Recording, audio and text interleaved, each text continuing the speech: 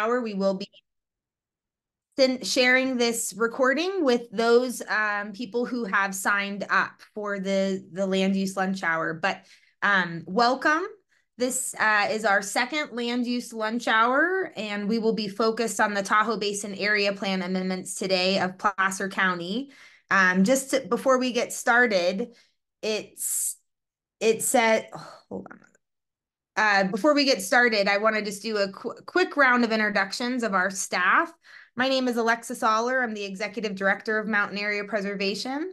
And Sophia, would you like to introduce yourself? Yeah, hi everyone. My name is Sophia Heydrich, and I am the Advocacy Director for Mountain Area Preservation. This is a new program for us. It's our second ever MAP land use lunch hour. So we're hoping it kind of picks up some steam and, and takes hold here really soon. Um, if it becomes popular, maybe it's something we could even do in person. It's nice to see faces. Uh, but anyway, welcome. We're happy to have you all here and hopefully you learned something new today. Great. So today we are going to be focused on the Tahoe Basin Area Plan amendments. And um, if you were on our last land use lunch hour in, de in December, we focused on the T TRPA housing code amendments. And yes, there are there is some overlap, but these are two different planning processes and two different sets of uh, zoning and code amendments. So um, we will be focused on what we call the TBAP amendments today. Um, but just real quick, you know, Mountain Area Preservation, we're an environmental advocacy nonprofit. We started in 1987.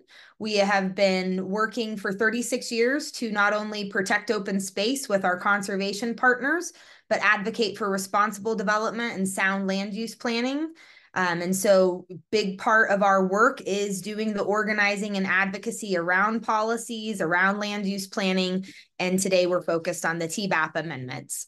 Not only are we going to talk about the rules um, next for the Zoom, but we will also talk about the uh, what the Placer County Tahoe Basin Area Plan amendments are, as well as uh, the amendments by the numbers, uh, what has happened in the public process, our concerns, mountain area preservation's concerns, a call to action at the end of the Zoom, and then of course Q&A, which will be really helpful uh, to anyone who wants to not only ask questions or also bring forward information regarding um, the amendment package. Uh, just as a as a rule here, we are on Zoom. Um, please hold your questions and answers till the end. Um, please be respectful of other uh, opinions and perspectives with this subject. And again, I've already said this, but we will be recording this and we'll post the Zoom to our website and also share the Zoom with um with everyone who registered for the Zoom if they're not able to be online right now. So, what is the Tahoe Basin Area Plan? Um, if if you are familiar with the regional plan that came out of the the Tahoe Regional Planning Agency in 2012, the next iteration of planning was to have plan areas for the local jurisdictions, the five different counties within the basin. And so, for Placer County, the Tahoe Basin Area Plan was a five year process and there was about 16 stakeholders in the North Lake Tahoe community. Uh, MAP was invited to be a part of that. At that time, we were in the process of litigating the Martis Valley Community Plan, or not Martis Valley Community Plan, Martis Valley West. Martis Valley Community Plan was before that. Um, we were uh, litigating the Martis Valley West project, and so we did not have the capacity to be on the Tahoe Basin Area Plan um, working group, but we had many partners and many map members who served on that uh, that cohort which was a long process to not only define the town center boundaries but to really discuss and make concessions on appropriate land uses everything from development to conservation to revitalization um, it was a very very inclusive process for five years and um, and when that area plan was approved in 2017, that was the last time there was environmental review for that uh, plan area. Two years ago, Placer County started what we were calling the amendment process, and they started amending the TBAP uh, area plan to really bring forward goals to not only streamline new development, but also to incentivize redevelopment and new development. Specifically, some of the incentives are for workforce housing or conversion of tourist accommodations, uh, redevelopment of commercial, and looking at a way to really include more economic drivers within the Tahoe Basin area plan. And so that two year process started in, uh, I believe it started internally in 2021 and then became public in 2022. And that is when MAP started to uh, attend TBAP hearings, everything from the North Tahoe Regional Advisory Committee to um, the Planning Commission to Board of Supervisors, and the amendment package was approved in 2023.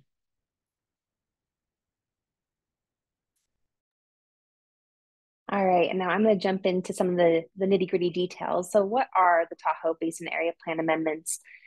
Um, this is a very large package of amendments. So, we're dealing with changes um, both to policy and to regulation. In terms of policy, we've got a few of those highlighted here. There's uh, high-speed broadband and childcare facilities. Um, and in terms of policies, it's really incentives to sort of drive these uses.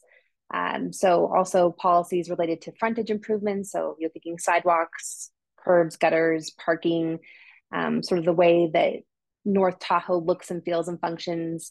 Um, also the development of mixed use business park and light industrial space in town centers, uh, again, you know, um, Alexis mentioned sort of that adaptive reuse or sort of revitalization of town centers. So that's part of this as well. And then also incentives for expanded hardening, green waste, and defensible space. Next slide, please.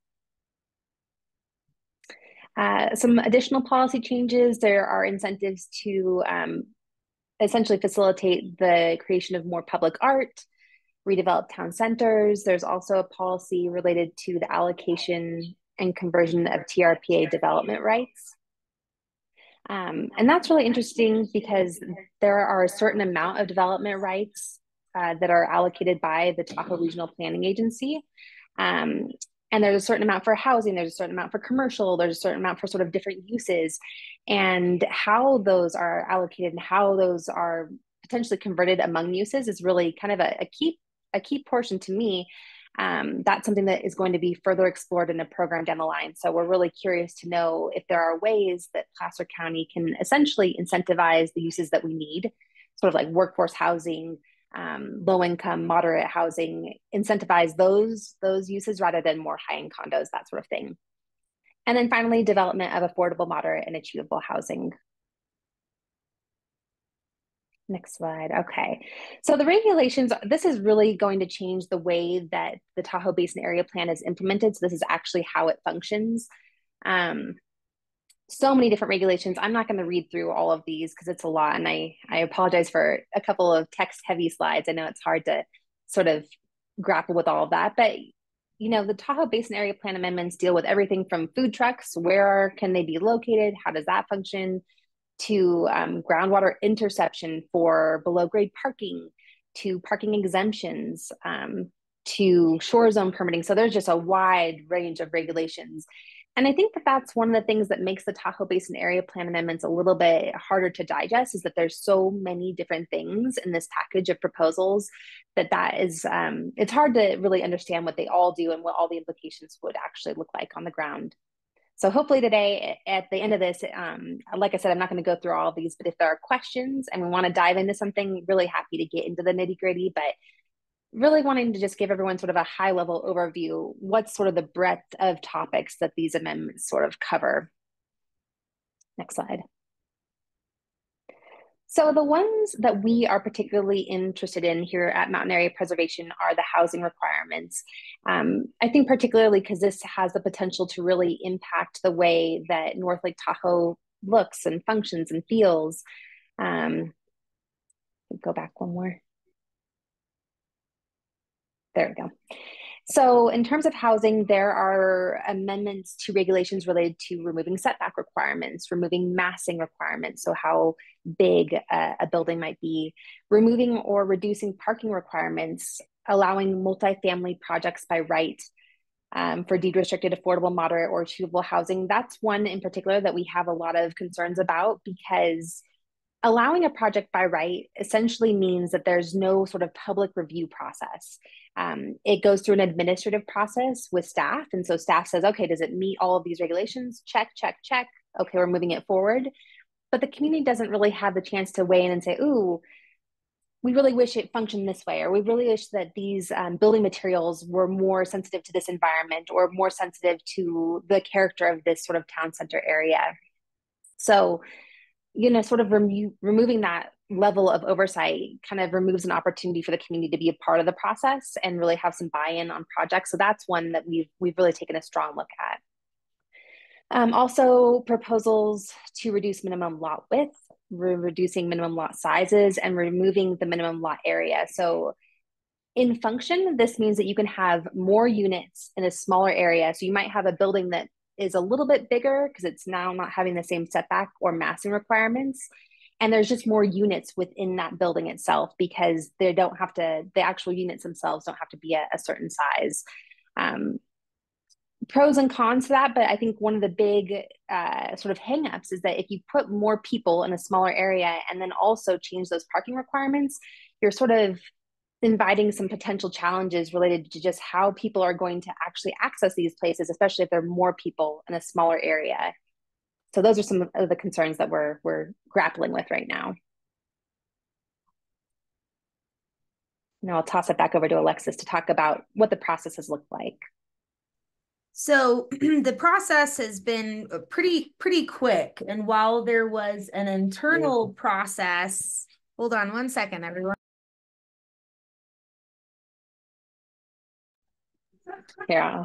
Per personal mail delivery going on here. Um, so the process, like like we've mentioned, you know, when we became aware of the Tahoe Basin Area Plan amendments in late 2022, the majority of the interactions and engagement of changing the amendments was with uh, about seven different developer stakeholders. There was not engagement with the original Tahoe Basin Area Plan uh, group, the committee, and the the process really sort of took a, a life of its own. Um, you know, one year of meetings, two years of developing these amendments, with one year of them being developed behind the scenes three public workshops. Um, like I said, the, the, the amendments were based on engaging about seven developers is what the planner at Placer County shared with us, Stacy Wydra.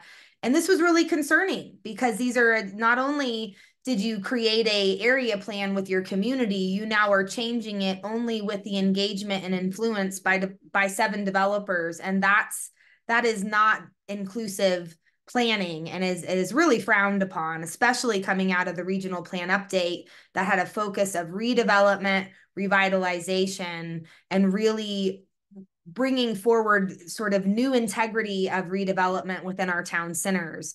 Um, there was nine Placer County meetings and about 30 hours of public hearings and 600 plus minutes of public testimony with thousands of pages submitted of public comments of concerns everything from uh, housing concerns the height. At first when the height came forward it was a proposal of 71 feet then the proposal was 65 feet. Then they said we're taking height out.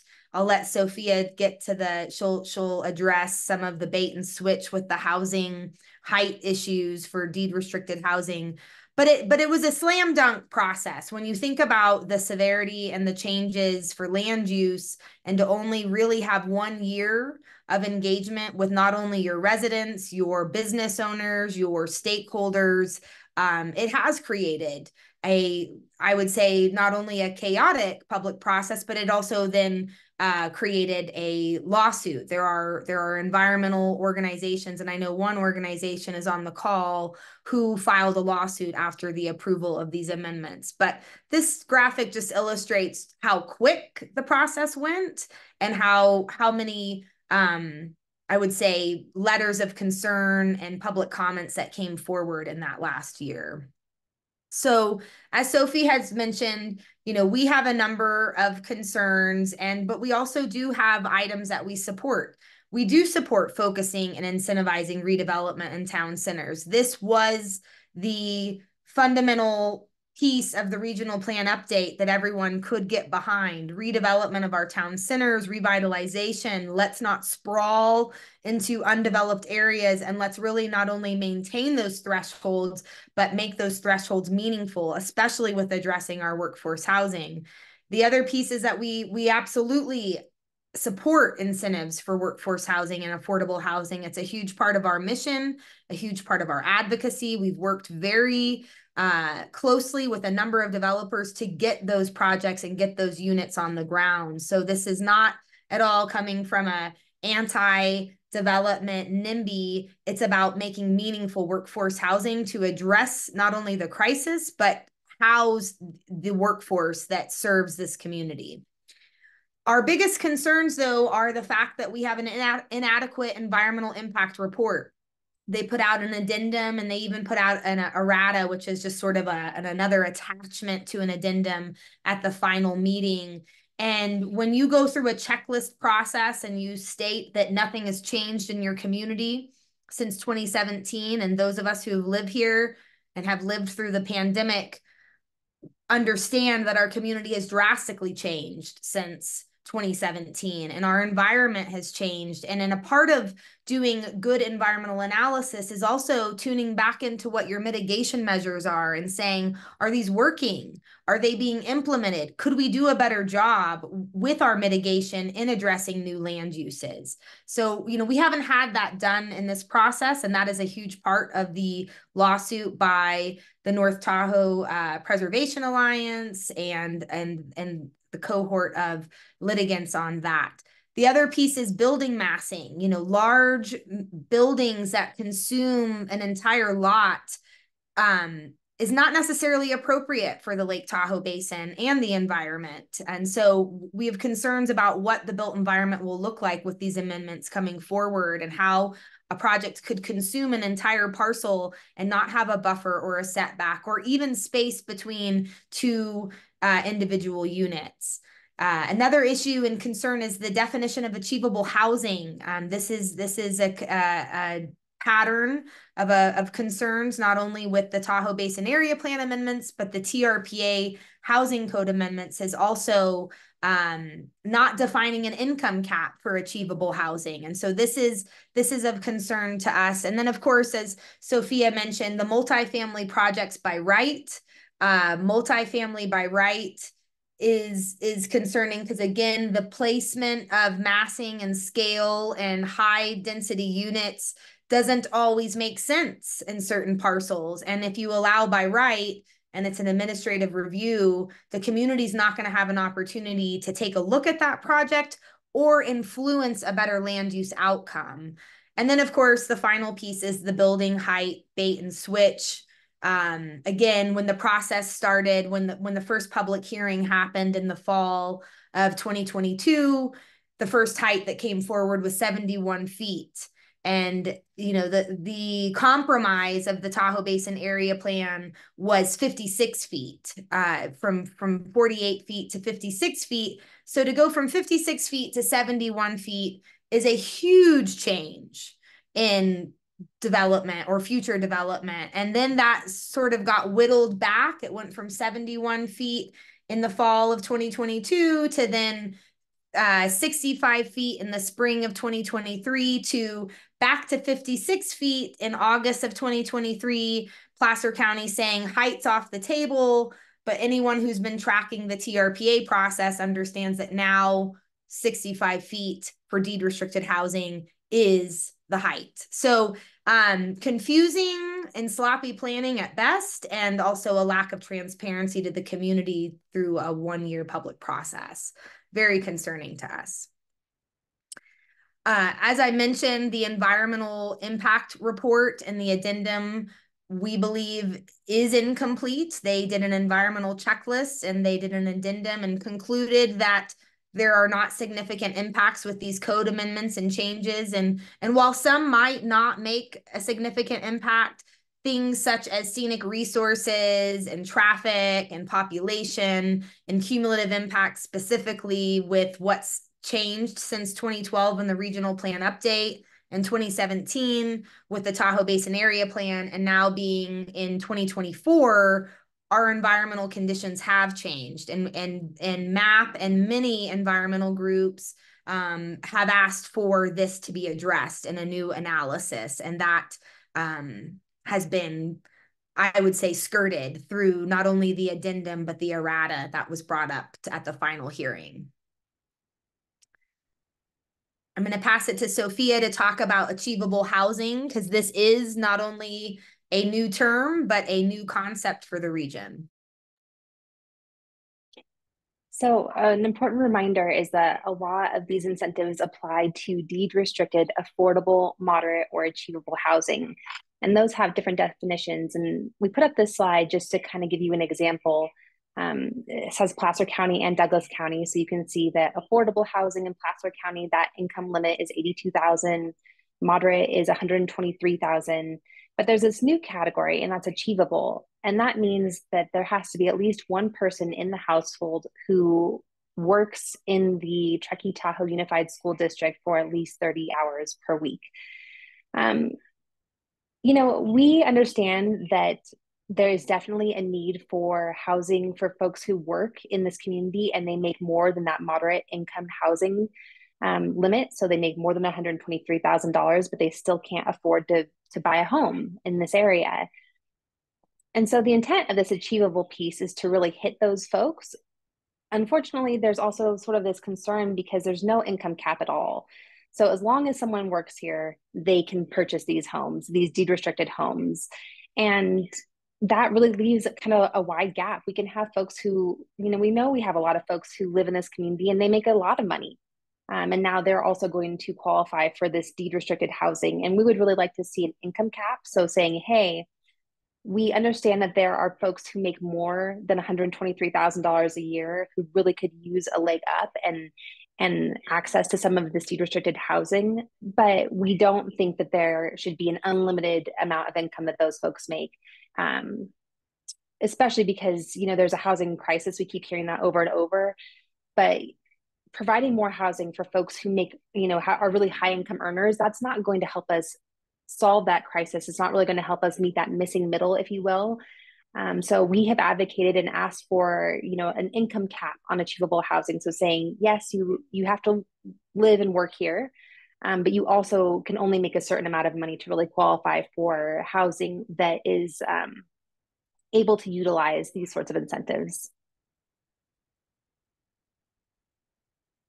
All right, we're gonna play this video real quick.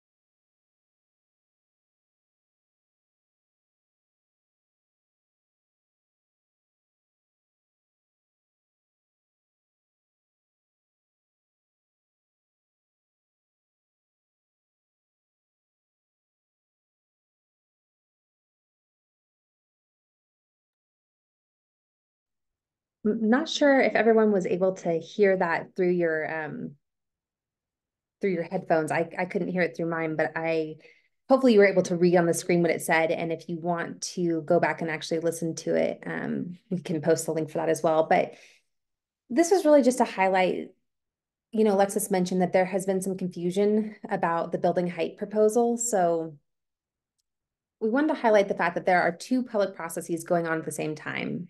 One is in Placer County and one is in the Tahoe Basin with the Tahoe Regional Planning Agency. And that has just really created an extra level of confusion for folks um, because they would have similar but not the same impacts. So for the Tahoe Basin Area Plan, Alexis mentioned first the building height proposal was 71 feet in town centers. And then the public came out and said, whoa, whoa, whoa, 71 feet. We negotiated really hard for that 56 feet that we got in the 2017 um, amendments. And so Placer County said, okay, okay, we're gonna we're gonna go back down to 65 feet. And then the community came out again and said, whoa, no, 65 feet is still very, very high compared to what we argued for. So Placer County said, okay, okay, we hear you. We're going to take the heights off of, off of the table. We're only going to propose 56 feet because that's what we're hearing from the community. 56 feet is a is what was negotiated and what folks really want to see. We're going to keep the heights. And so the community felt pretty good. Like, hey, Placer County heard us. They took the height proposal off the table. Um, you know, we kind of got a win. And then right after all this happened, we learned that the Tahoe Regional Planning Agency is also proposing height increases and that would apply to the same area. So they're actually proposing 50, from 56 feet to 65 feet in town centers in North Lake Tahoe. And so it just felt a little disingenuous. You know, you've got Placer County saying, no, we hear you, we're taking heights off the table. And then you've got the Tahoe Regional Planning Agency coming back and putting those heights back on the table again. Um, we know that there's a lot of crossover. We know that Cindy Gustafson, the District 5 um, supervisor for Placer County, also sits on the TRPA governing board. So she's aware that these two things are going on simultaneously. Um, and yet it's sort of played off like, oh no, that's happening there. That doesn't apply to what we're doing. And it just, it doesn't build a whole lot of confidence in the community when you think, okay, I thought that you were hearing us and now we're learning that this is coming back, even though we said that that's really not what we wanted.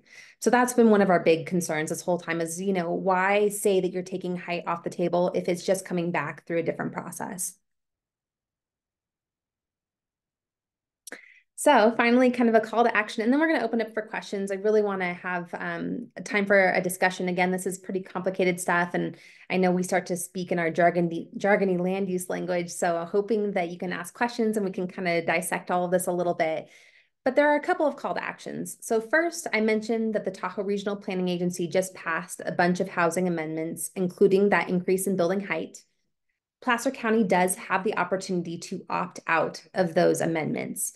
Um, so one call to action is to email Cindy Gustafson, your Placer County supervisor, and tell her that Placer County should opt out. They've heard loud and clear, among other things, that folks in North Lake Tahoe are not supportive of that increase in building height um, and some of the other proposals from the TRPA. So let's go a different let's go a different route in Placer County. Let's really take a thoughtful approach and look at incentives that will work specific to this community.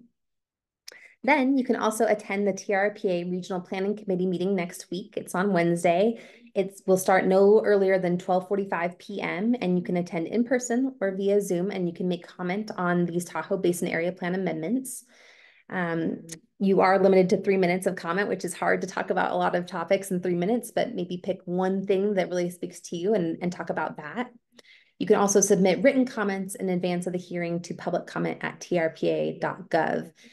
Um, and that is your second to last opportunity to weigh in on the Tahoe Basin Area Plan amendments. They're going to this meeting next week, and there will be one more meeting at the TRPA in February, and then this is done and dusted. That's the end of this, this proposal. So um, it's a really critical time to get involved if this is important to you, if it speaks to you. And again, this does have the ability to change the way that North Lake Tahoe looks and feels and functions in the future. So it's important to get right.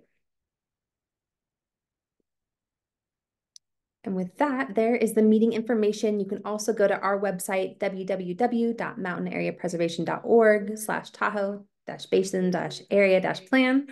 Um, for more information, we've got lots of info there, lots of old um, comment letters that we've submitted. There are some, you know, there's meeting information, lots of good resources there. So if you want to take a look, it's, it's a great place to find out more.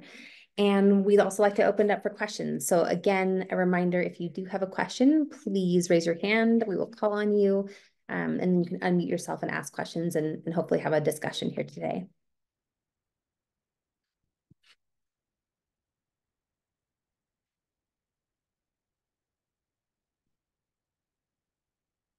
And honestly, no question is a stupid question. The stuff is really complicated. And even when we try to make it simple, it sounds complicated as I'm saying it. So any any questions are welcome.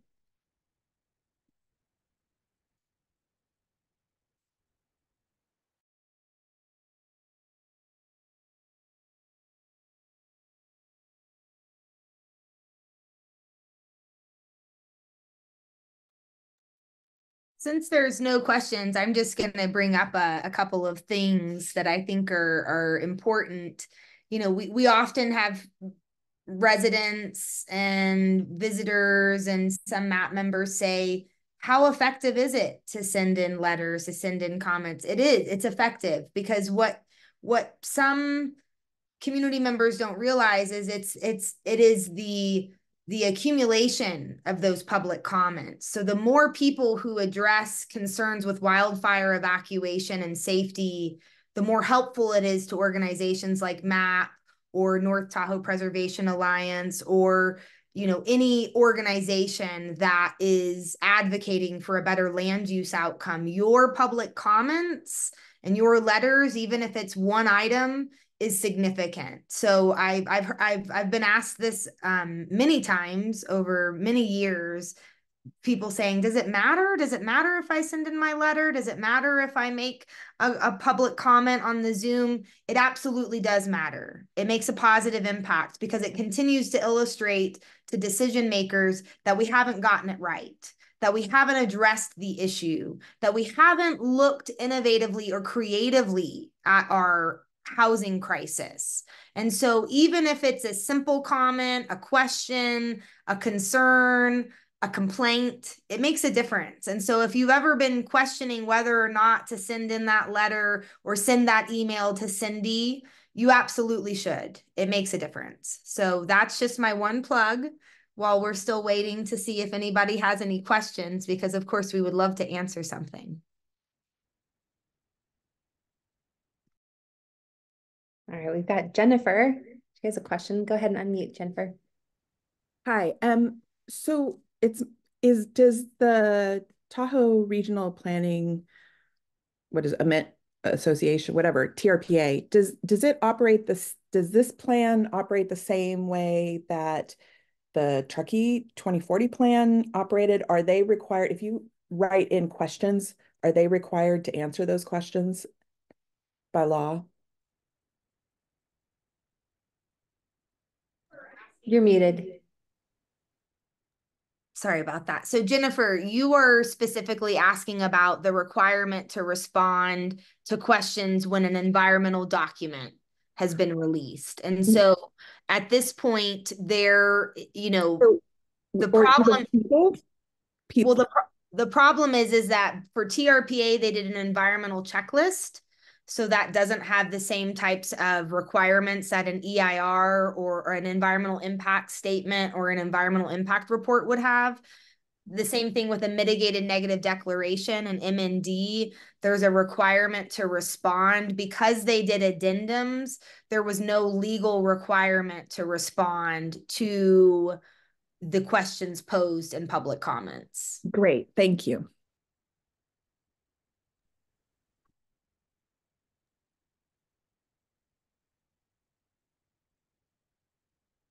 I don't know if Doug can hear me, but Doug Flaherty is with TahoeCleanAir.org, and he's one of the um, they're one of the litigants on the Tahoe Basin Area Plan. I was wondering if you might want to weigh in, just give a 30 second overview on why you're litigating and what your perspective is on that. Well, first of all, let me just say you guys are so professional and to be congratulated, uh, not just your website, but this lunch hour educational period. And I would encourage you to continue to do that. There's, I was just thinking this morning, there's no outlet for people to come and get a um, more objective perspective of what's going on. There's nothing. So, you know, kudos to you guys. Keep it up. Um, the other thing I want to mention just briefly is our lawsuit is very simple. It's it's what Alexis uh, said earlier. Um, we're not arguing housing amendments. It's it's basically requiring Placer County to do a new or uh, addendum EIR. That's it. Um, whether or not they're complying with CEQA. So we figure, you know, if we can get that done, of course, when they do do, if they do do an addendum, um, and and we don't like it, we're going to have to come back and file another lawsuit. But this is just uh, just a beginning, and this is going to take a while. This isn't something that's going to happen overnight. And Placer County is not bound to halt their uh, review of any any uh, permits. So that's kind of a quick overview.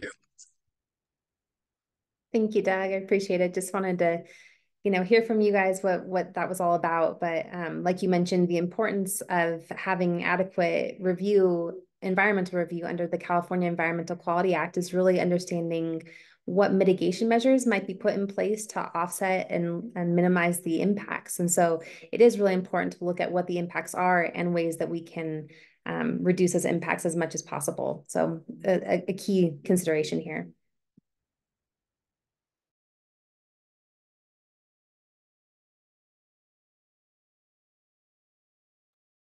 Any other questions? And and two, you know, I know today's focus was the Tahoe Basin Area Plan. Um, our last one was on the TRPA Housing Code amendments, uh, the Phase Two Housing Code amendments. But if there are any questions because of the overlap or how these uh, jurisdictions interplay with each other, we're happy to answer that or address that um, because it is complicated. Amy, I see you have a question. Go ahead. Yeah, um, I haven't looked into it. What so the um TBAP amendments were approved by Placer County. Now they're going to TRPA. I'm a little confused about what that hearing next week is for, which might be helpful to know how best to respond to it. Yeah, so because um, it's an area plan, the Tahoe Regional Planning Agency has sort of final oversight or final approval of any of the um, local counties' area plans. And so you're right, it did go through the Placer County process. It's been approved by the Placer County um, Board of Supervisors, and then it has to go through a three-step TRPA approval process.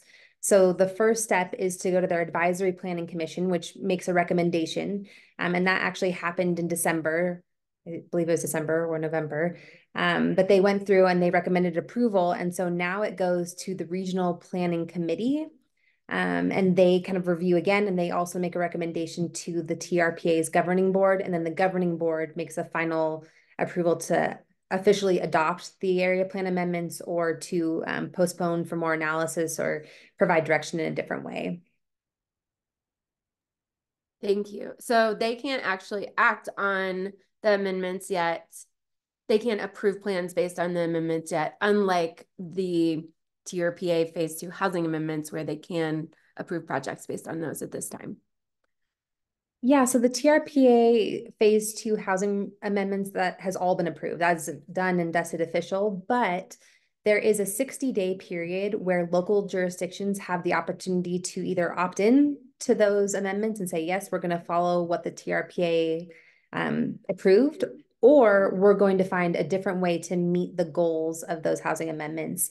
And the goal essentially was to incentivize, again, more of that affordable, moderate, or achievable housing. And so if a local jurisdiction can show other ways that they're supporting those housing types, either through local programs like a um, lease to locals program or um, a housing assistance program, a rental housing assistance program, or by donating land. And those are just a couple of examples. There's lots of ways that a local jurisdiction can show that they're helping to meet those goals um, then they can choose to opt out of the amendments. And so Placer County in particular is already doing a number of those things. They've got some of those programs going.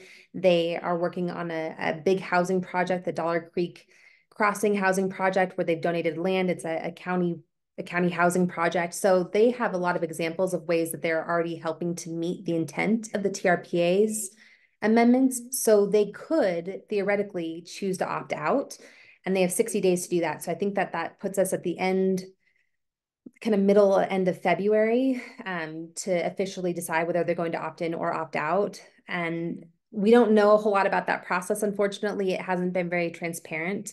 Um, but that's why we encourage everyone to email Cindy Gustafson and say, hey, Placer County doesn't have to do what the TRPA recommended. Placer County can choose a, a path that is more in line with um, the vision that Placer County residents have. Sorry, does that answer your question? It's a little bit of a tangent. Yes, definitely. Thank you so much.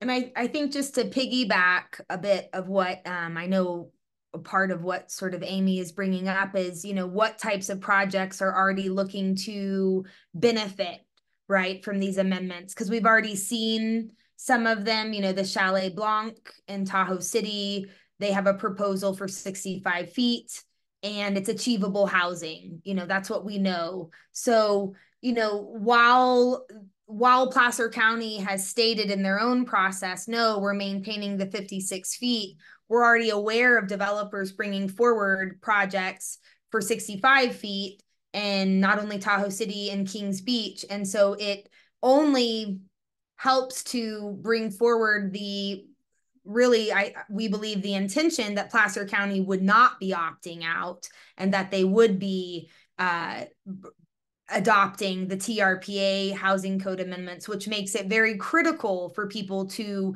email Cindy and say, no, you need to opt out. You know, your staff led the community through a year long process saying we're not going to do the heights yet we are very aware of very specific project uh, applications 39 degrees north chalet blanc that want to be afforded the height amendments. And so this is really one of the critical calls to action is letting cindy know um, that this community the north lake tahoe community does not support the 65 foot tall heights and that we can address workforce housing through new development without that type of height. There are ways, there are creative ways to build and develop without sacrificing our view sheds and our, our scenic thresholds in Tahoe. But we need uh, we need the community to keep coming forward and saying opt out, opt out, um, and and and really make that clear to our District 5 supervisor and the TRPA governing board member, Cindy,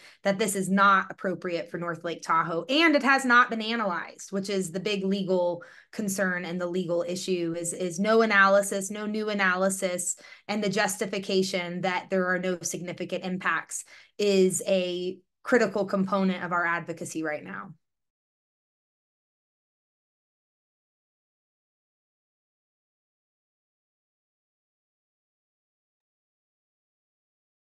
Still time for other questions if anyone has any. I did want to just briefly note that we'll be sending a follow-up email um, with a survey just to, like we've mentioned, this is a new program. So we're really trying to kind of ramp it up and learn, um, you know, just learn something at the end of this. Was this helpful? Was it interesting? Did you learn something new?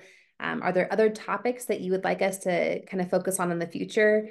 Our first two were about two very specific planning processes, but we could look at specific projects or we could um, even dissect a, what is the California Environmental Quality Act or um, you know, how does an area plan get adopted? Just sort of bigger, broader planning questions. So anything that you have, if this um, land use lunch hour sparked a question that's kind of a more general, you know, idea for the future, we're really open to that and would love to kind of help our community speak land use. This stuff is complicated. It's um, tough to digest. So we're, we're really trying to break it down as much as we can and would love your suggestions. So stay tuned and please look for that email after the fact. And that email will also have a link to the recording. So if you do want to share this around, um, we would encourage that as well.